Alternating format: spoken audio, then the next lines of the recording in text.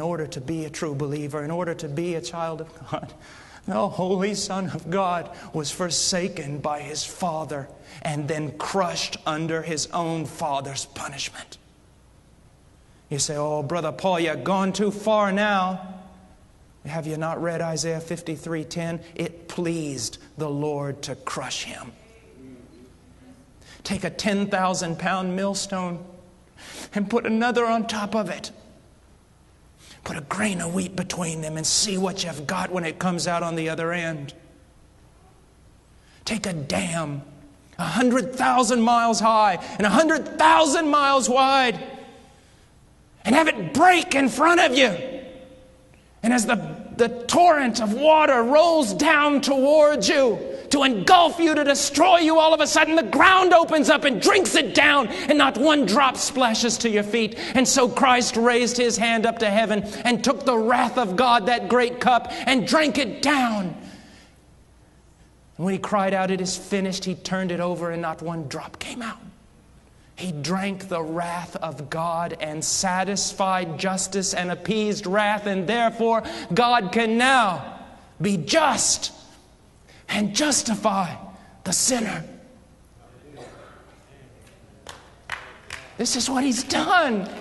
This is what he has done. The Puritans spoke a lot about repentance, not only from sin, but repentance from good works. You say, what do you mean? There is a real sense in which repentance is simply this you give up from trying to justify yourself, you just quit.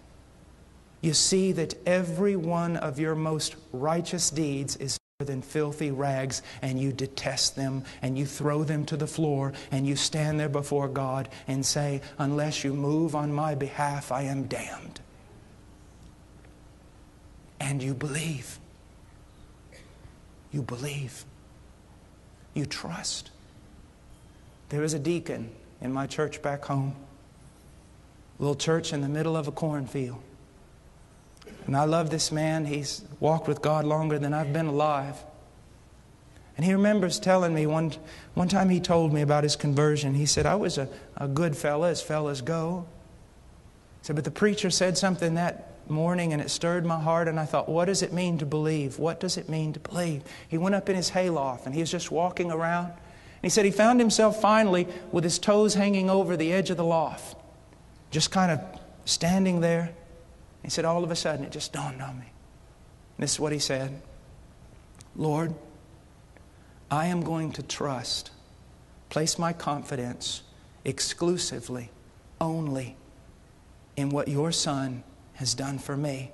And if that very thing, if what He has done for me is not strong enough to save me, then I will go to hell because I will not trust in another thing.